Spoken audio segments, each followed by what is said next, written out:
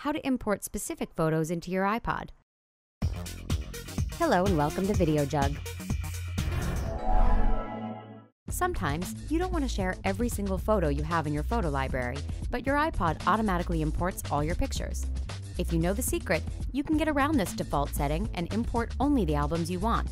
Just follow these easy steps. You will need a USB connector cable or dock, an iPod, and a computer with the latest versions of iTunes on it. Step 1 Get connected. Connect one end of your USB cable or dock connector to the bottom of your iPod and the other end to the USB port on your computer. Wait for iTunes to launch. Step 2 Select your album. Click on the Photos tab in the iPod Preferences window at the top of the iTunes screen. Then, click on the selected album radio button. Check the checkbox beside each album you want to import. Now, you can share what you want to share, and even better, you can keep the rest of your photo library to yourself. Done.